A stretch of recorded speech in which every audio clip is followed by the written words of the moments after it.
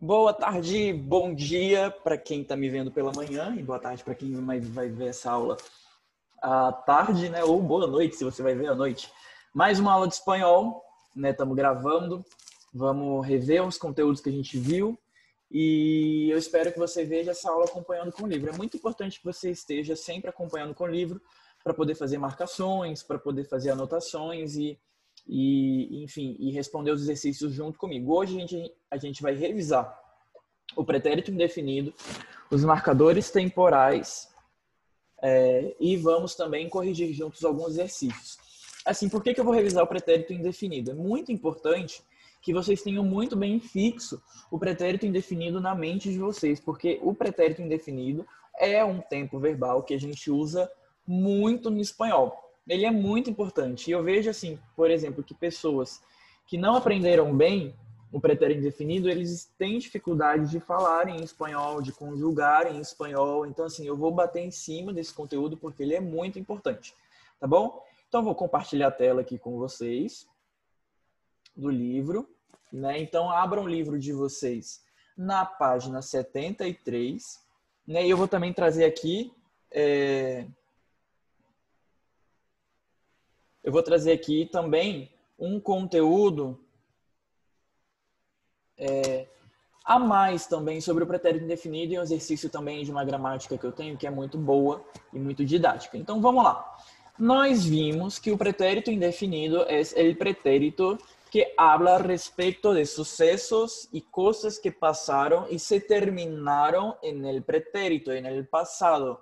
O sea, que quero dizer com isso é um tempo verbal que trata de hechos, né, de fatos, de feitos, é, que começaram em um momento específico do passado e se terminou em el passado e já não tem mais nenhuma relação com o presente. Ah, professor, mas isso é óbvio. Se é um pretérito, óbvio que estamos falando de coisas do passado que já se terminaram. Nem sempre, porque existe um tempo verbal no espanhol que fala de coisas que começaram no passado e continuam tendo impacto em relação com o presente. Por exemplo, esse tempo verbal no espanhol seria o pretérito perfeito composto, que seria, por exemplo, este ano eu he estudiado mucho. Então veja, eu estou falando este ano. Este ano já vivemos muita coisa, já estamos em quase em setembro, final de agosto. Então existem coisas deste ano que já se passaram, mas este ano ainda não acabou. Então ele tem relação com o presente. Então veja, um marcador temporal, ele vai dizer muito se eu estou falando de algo que já terminou e não tem relação com o presente, ou se de algo que começou no passado, como por exemplo, este ano, ele já começou no passado, né? E ele continua até hoje. Então o marcador temporal está me dizendo que este ano é algo que tem relação com o presente. Por isso que é muito importante vocês saberem sobre os marcadores temporais. Porque são com os marcadores temporais que vocês vão poder falar de maneira específica é, sobre coisas do passado que já não tem mais relação com hoje. Quais eram esses marcadores? Quem lembra que a gente viu esses marcadores na semana passada? Esses marcadores é, é ayer, anteayer, anoche, anteanoche, eh, la última semana, el año passado, el último siglo. Eu posso usar datas específicas, eh, el año de do, dos, 2007, el año de 1950, el año de 1998, enfim. Eu, quando eu uso datas específicas do passado, também são marcadores temporais que, diz, que falam sobre coisas que começaram no passado e terminaram no passado. E nesses casos eu uso o pretérito indefinido. Então aqui mais uma vez é, o livro, né, ele sempre traz uma tabelinha. Então é muito importante vocês lembrarem dessa tabelinha. Como que eu conjugo o pretérito indefinido? É, o pretérito indefinido, gente, é como se fosse o nosso pretérito perfeito, né? Eu jantei, eu almocei, eu estudei, eu cantei, eu corri, eu dormi, eu vivi. São esses. É, é, é, é, o tempo verbal que tem muito. É como se fosse no espanhol o nosso pretérito perfeito. Né? Então a gente tem pretérito perfeito, pretérito imperfeito. e pretérito mais que perfeito. Como que seria isso no espanhol? O pretérito perfeito no espanhol seria esse pretérito indefinido. Eu bailé, eu comi, eu parti, eu, eh, tu bailaste, tu comiste, tu partiste, ele, ele bailou, ele comeu, ele partiu e assim por diante. Tá? Pretérito indefinido. O nosso é, pretérito imperfeito, a gente já viu, né? Vamos relembrar. Eu bailava, eu comia, tu comias, ele comia, nós outros comíamos, bailávamos e assim por diante. Então, assim, a gente tem o pretérito perfeito, que no espanhol é o pretérito indefinido. A gente tem o pretérito imperfeito no português, que também é o pretérito imperfecto no espanhol. E aí no espanhol eu tenho o pretérito perfeito composto, né? É, que aí é esse que eu falei para vocês que a gente ainda vai ver mais para frente, tá? No próximo, na próxima unidade. Então, o que, que vocês precisam saber? Vocês precisam saber é, justamente as terminações. Então, tentem gravar as terminações do verbo. Quando eu estou conjugando em jo, nos verbos que terminam em a, eu vou terminar nesse e. Baile, com acento. Eu cantei. Eu amei. Eu estudei. Eu caminhei. Né? E aí, quando for no verbo e e ir, vai terminar com o i. Comi, vivi, corri, ok? Parti, entendi, conheci e assim por diante. Aí, olha só, a gente vai para o tu, vai terminar em ast quando terminar em ar, o verbo. Vai terminar em ist quando terminar em er ou ir. Quando eu vou para ele, ella ou ste, vai terminar em o, com acento. Bailou, comeu, partiu cantou, correu, viveu. Tá bom? Nosotros vai terminar em amos ou imos. Vosotros vai terminar em asteis ou isteis, né? Então vejam, olha só. Vocês precisam basicamente se lembrar de dois tipos de terminações. As terminações do verbo ar, que é e, este, o, amos, asteis, aron, que é isso que está em negrito no livro de vocês. E vocês vão poder é, e vocês vão ter que decorar as terminações do er e do ir, que é a mesma terminação. I, iste, io, imos, istes, iero. Tá bom? Então vamos lá para o exercício para a gente corrigir junto. Olha só, a gente já respondeu né, o exercício 1 na semana passada. E a gente, eu falei para vocês responderem o exercício 2 e 3. Tá? Então, olha só que fala o exercício 2 aqui para vocês. Só deixa eu abrir aqui para eu ler no livro, que fica melhor.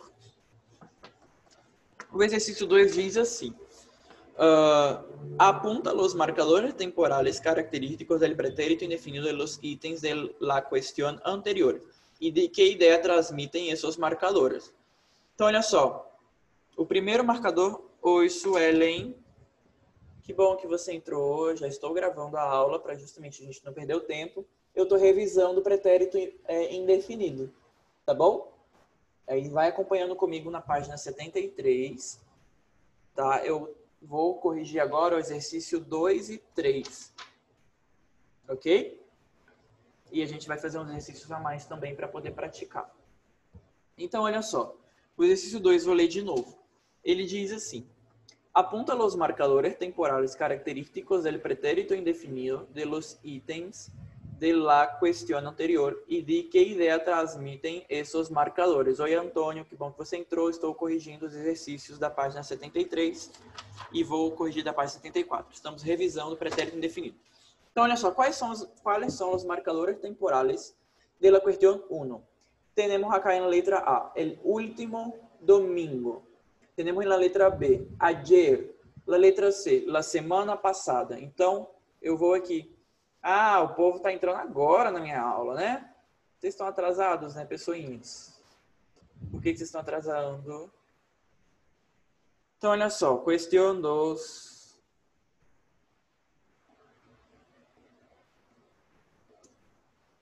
Los marcadores temporales son el último domingo, eh, por favor, não escreva na minha tela.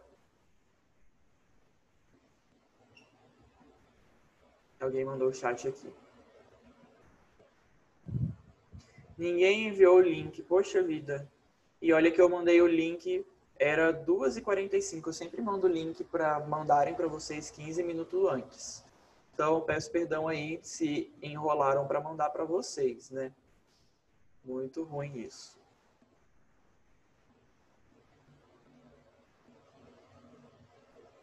Vou reclamar lá com o pessoal responsável de mandar os links, tá bom? Obrigado aí por avisarem. Uh, então vamos lá. Los marcadores temporales de la cuestión son último domingo, ayer, que é ontem, la semana passada, tenemos anteayer e hace um ano. Então, olha só qual é o sentido que esses marcadores dão, né? Qual é a ideia que transmite? Ellos transmitem uma ideia de tempo acabado que não tem relação com o presente. Então, esses marcadores temporais, eles, dão justa, eles ajudam justamente a marcar o tempo.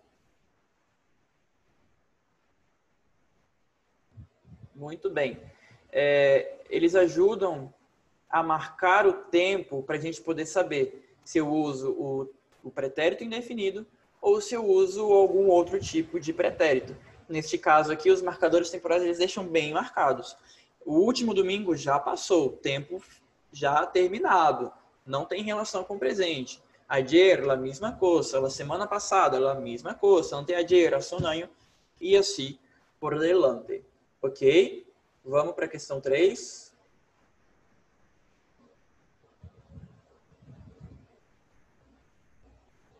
Só deixa eu fixar aqui a minha imagem.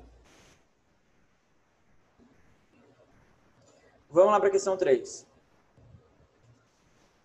Alguém gostaria de ler o enunciado da 3 para mim?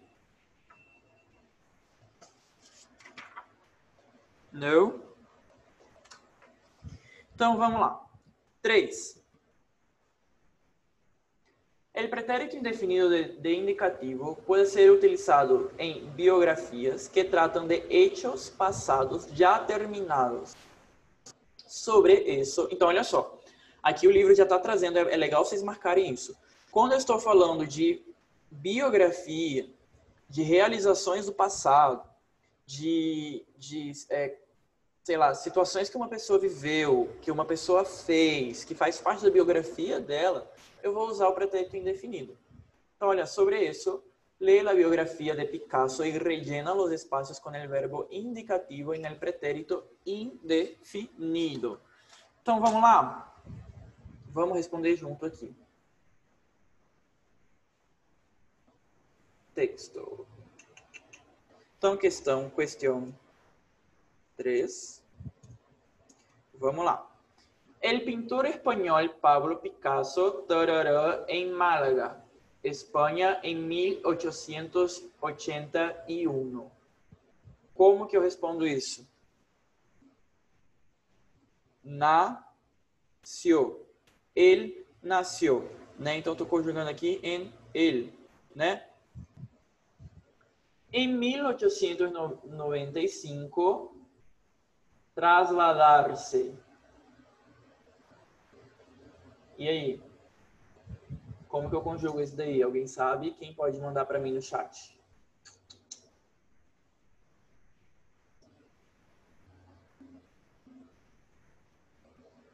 Para quem chegou agora, eu estou na questão 3, página 74, estamos fazendo juntos o exercício 3. Você trasladou. Isso mesmo, Antônio. Muito bem. Então, deixa eu escrever aqui. Se trasladou.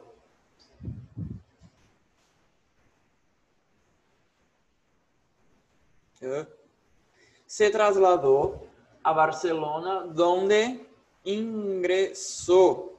Então veja que eu estou conjugando praticamente tudo em nele. Ele se trasladou, ele ingressou. a Paris. Não. Donde ingressou em la Facultad de Bellas Artes. Cinco anos mais tarde, ele viajou. Sim? Estou toda hora clicando errado aqui o botão. Ingressou, viajou. Isso, Antônio. Boa. Muito bem.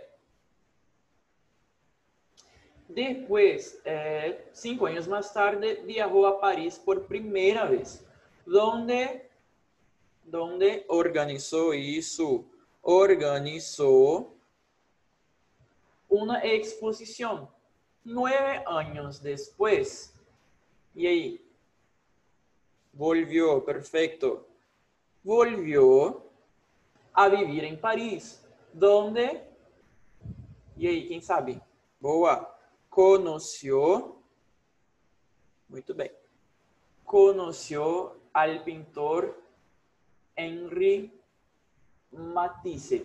Al cabo de três anos, pintou, muito bem.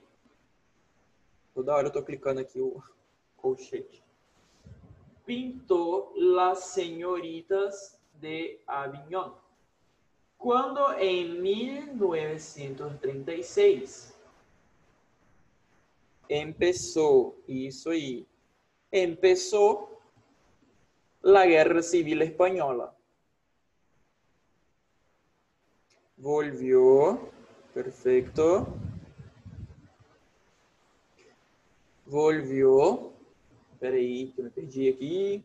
Volvió de novo a Paris, donde pintou isso. Donde pintou Guernica. Aí agora, casar-se. Se casou, né? Se casou várias vezes e tuvo três filhos. Em 1957, se instalou. Isso aí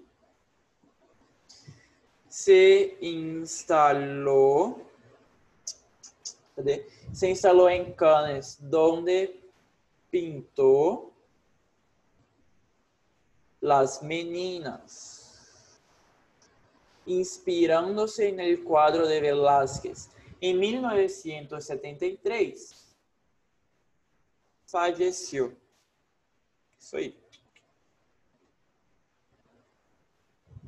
Falleció em sua casa de Notre Dame de Vie, em França. Muito bem. Então vejam que quando eu estou falando de biografia, normalmente eu vou conjugar todos os verbos na, na terceira pessoa do singular. Né? Então quando eu vou quando eu estou falando de acontecimentos da vida de alguém, de situações da vida de alguém, de fatos históricos, eu vou trasladar se é tipo mudar, né? De, de, de se deslocou, se trasladou, de deslocamento, tá bom?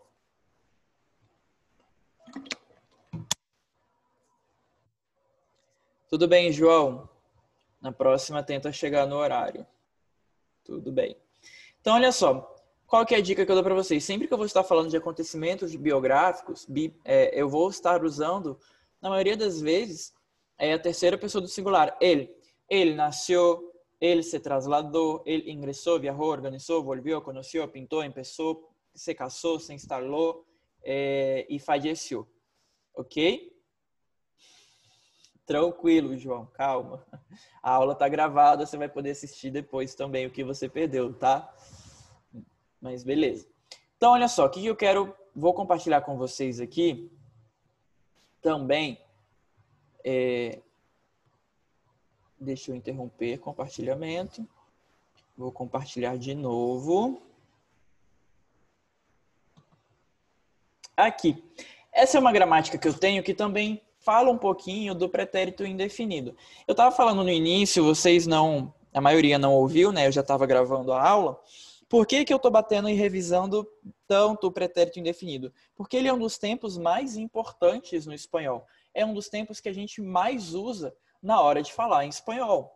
Né? Então ele é importantíssimo. O que, que eu percebo de alguns alunos que já estão mais avançados, que eles têm algumas dificuldades na fala, na expressão do espanhol, justamente porque eles não memorizaram e não internalizaram é, o pretérito indefinido, que é como se fosse o nosso pretérito perfeito. Então, no português eu tenho pretérito perfeito, cantei, almocei, dormi, comi, que equivale ao pretérito indefinido.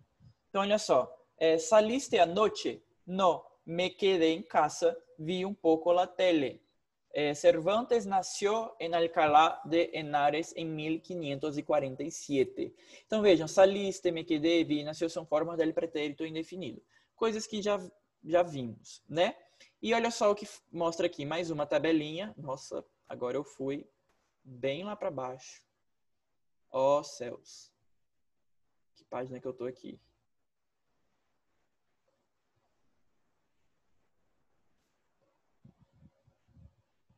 Espera aí que eu vou encontrar de novo a página. Acho que é mais para baixo, né? Calma. Aqui, achei. Glória a Deus.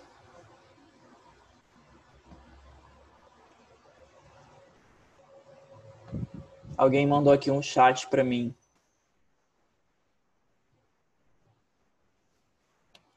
Sim, el verbo salista é irregular é, no, prete, no presente do indicativo, ok? No presente do indicativo ele é irregular, no pretérito não.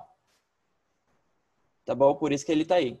É, eu sali, tu saliste, ele salió, nós salimos. Agora, quando eu vou no presente do indicativo, aí é eu salgo, aí sim tem irregularidade. Tudo bem? Então, olha só. Então, aqui ele vai né? Mostrando a tabelinha, trabalhei, comi, vivi, coisa que a gente já viu. E olha só, no verbo dar, o verbo dar vai ser yo di, tu diste, ele dio, ok? Nosotros dimos, vosotros disteis, ellos dieron, tá bom? Então aqui tem algumas, alguns verbos diferentes, né? É, Verbos em car, que terminam em car, por exemplo, sacar, eu vou mudar para que, que o. Então, quando é no jo, jo saque, né? O verbos que terminam em zar, em pesar, eu vou mudar para o c, jo empecé, né? Uh, verbos que terminam em a chegar, gar, como o chegar, eu vou mudar para jeue, jo cheguei, ok? Então tem essas mudançazinhas que é legal vocês saberem. Olha só o que diz aqui. Se usa o pretérito indefinido para falar de ações ou situações passadas. Nos diz que sucedeu em um momento concreto del passado e já terminado. Anoche, ayer, el jueves passado, la semana passada. Então, vocês podem falar dia de semana também. Hace dois meses, em 1995. E olha só, você pode usar em uma sequência de ações todas acabadas. Então, por exemplo, eu quero falar de várias coisas que aconteceram, mas todas elas aconteceram no passado e já terminaram, não tem nenhuma relação com hoje. Quando acabou a película, encenderam as luzes. Então, estou falando de dois acontecimentos, né, que veio um depois do outro, mas ambos aconteceram totalmente no passado. Ele, professor, entrou na aula, abriu o livro e começou a explicar, a explicar. Então, vejam aí que todos estão no pretérito indefinido, porque todos, todas essas ações são ações já terminadas no passado. Se usa muito em narrações e biografias. Então, olha só, eu uso muito em narração de histórias, de acontecimentos. Miguel Ángel Asturias nasceu em Ciudad de Guatemala em 1899, estudou Direito em seu país e pronto se interessou. Então, basicamente a biografia que a gente viu fez agora no livro de exercício, né? E aqui tenho mais um exercício para a gente fazer juntos. Né? Completa as frases com o pretérito indefinido os verbos entre parênteses. Então, vamos lá? Deixa eu só colocar aqui a opção de anotar para eu responder. Então, olha só aqui. Frase 1. Um, já está. Se casaram. Aí a dois, vamos lá. El domingo por la mañana tá no, no salir, né? Então, no salir, ok? El domingo por la mañana no salí. E aí, como que responde esse levantar-se?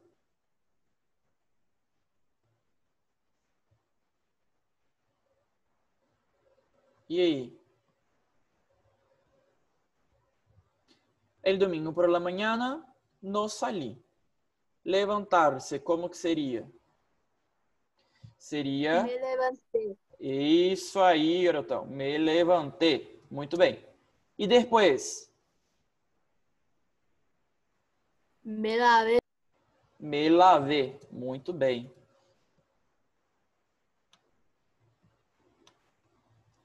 Uh, me lavei el pelo.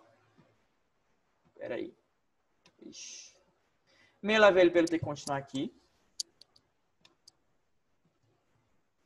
Na dois. Me lavei el pelo, desayuné. Né? Desayuné e escrevi. Então é legal vocês já verem as palavras, né? Que muitas essas, esses verbos alguns não, o livro não trouxe, né? Salir, levantar-se, desayunar, escrever. Vejam que são todos verbos regulares. E aí dá para vocês sabendo a terminação, dá para conjugar ele de boa, né? Vamos fazer a frase 3? Olha só. El año passado. Quem aí ativou o áudio, ativa de novo aí que eu gostei, hein? Vocês falando comigo, respondendo. El año pasado, nosotros ver. Como que fala isso? Nosotros Vimos. vimos. Perfecto. Quatro. Yolanda e Arturo. Então aqui eu tô falando plural. Yolanda e Arturo, que seriam ellos. Viveram. Vivieron. Viveram. Isso, vivieron. Cinco. Que os, os. Ixi, quem que vai saber essa daí?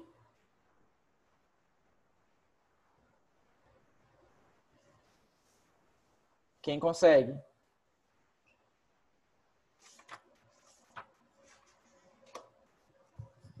Os. Os é um pronome de qual pessoa verbal? Porque lembrem, me é o pronome de, Vosotros.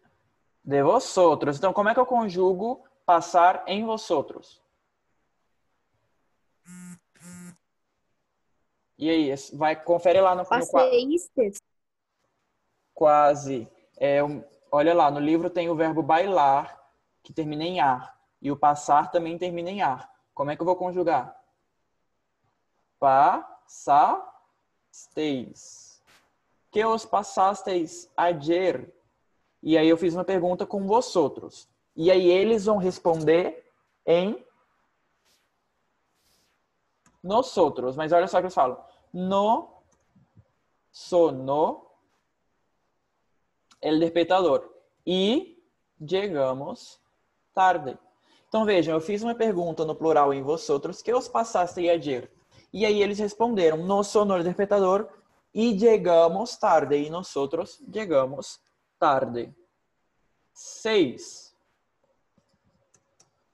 Quando Gala e tu? Então, como se você estivesse perguntando, quando vocês se conheceram? Né? Quando se. Quem sabe? E aí? Quando se conheceram Gala e tu? E aí eles vão responder como? Como que eles vão responder? Tá fácil. Quem Nos pode- conhecemos. Nos quase, quase. Olha só como é que é a terminação do er no passado. Nos conhecimos. Então termina em imos, né? Não hemos. Nos conhecimos em 1999 durante um viaje a Santo Domingo. Siete. ¿A qué hora tarará la fiesta anoche? Essa é fácil. Acabou. Acabó. Perfecto. No lo sé. Yo, yo Me acostei. me acosté. a las 12. Perfecto. E por último, oito. Con quien Saliste. Isso aí, garoto. Com quem saliste el domingo? Então vejam, que que, ele, que que alguns errinhos aí que alguns tiveram. É só vocês verem a terminação do verbo, independente se é um verbo que vocês nunca viram, né? Por exemplo, sonar, é, não sei, ou algum verbo que não está no livro. É só vocês pensarem, ah, termina em ar, como que vai ser a terminação desse verbo, independente de qual seja. Ah, quando é vosotros, termina em astes. Quando é nosotros, termina em imos ou amos, dependendo da terminação. Tá bom? Então é só vocês lembrarem disso. Galera, minha aula tá acabando. Beijo para vocês. Bom final de semana, tá bom? Até semana que vem. Valeu, galera. Deus abençoe vocês. Professor, Oi. olha na aula programada na questão 1.4, qual que é o tempo verbal para colocar os verbos? Espera aí. Deixa eu ver se dá tempo de eu abrir aqui antes que acabe a aula. Downloads, aula programada. De qual semana? Dessa semana, né?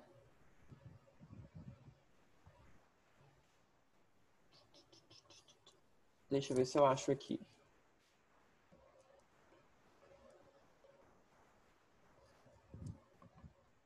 Tô abrindo.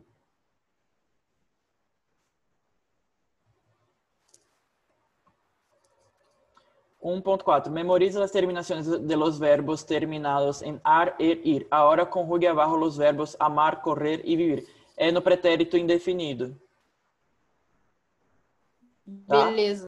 Então vai ser eu amei, tu amaste, eu corri, tu corriste, tudo no pretérito indefinido. Realmente eu esqueci, eu não coloquei, né? Mas como a gente está vendo pretérito indefinido, é pretérito indefinido. Beleza? Isso aí, galera. Até mais. Bom final de semana para vocês.